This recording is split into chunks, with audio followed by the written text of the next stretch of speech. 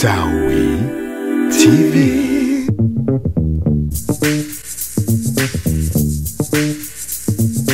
Najado Rosario, je suis artiste visuel.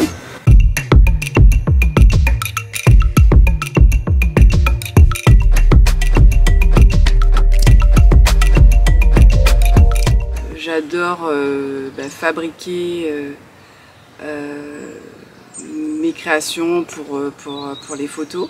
C'est important pour moi.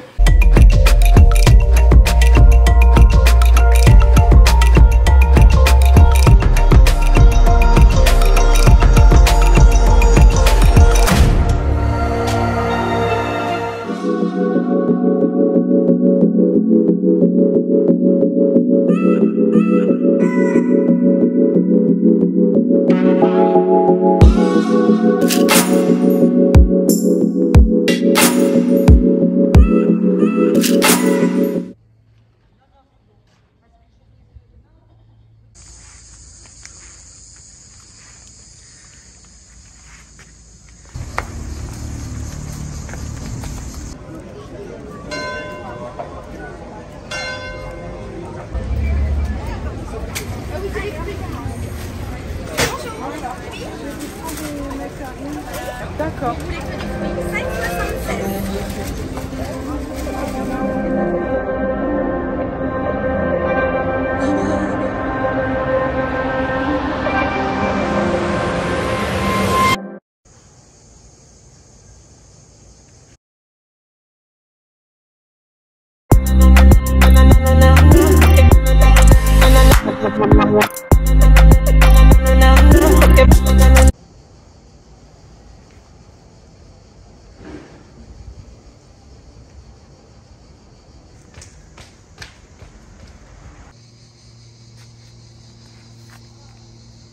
Comment tu te sens dans le village avec ton art Alors, euh, dans le village du sud de la France, euh, euh, ça va être plus l'art provençal, chose normale parce que voilà, on est dans un petit village et c'est beau aussi de, de- de garder ses traditions et, sa culture.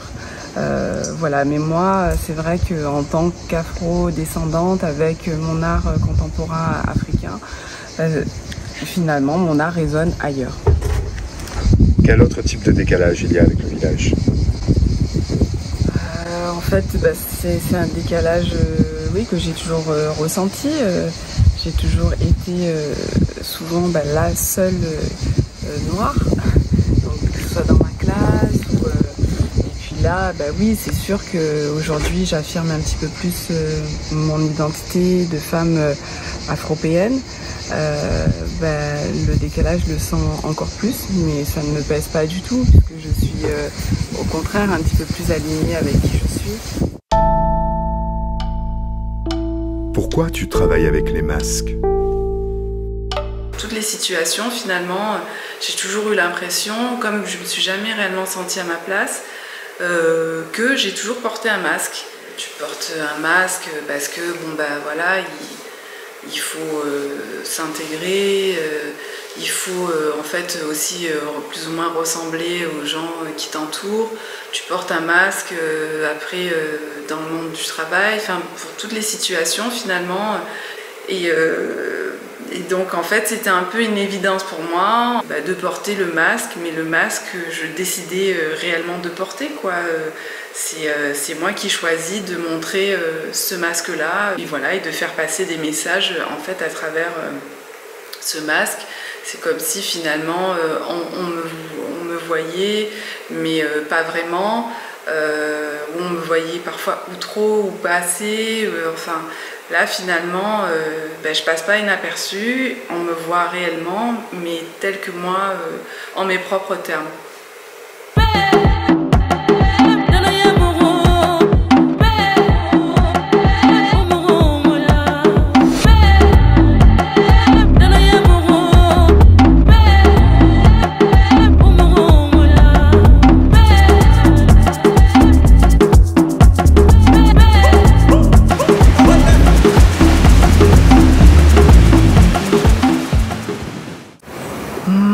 me suis aperçue que je raisonnais vraiment à l'étranger.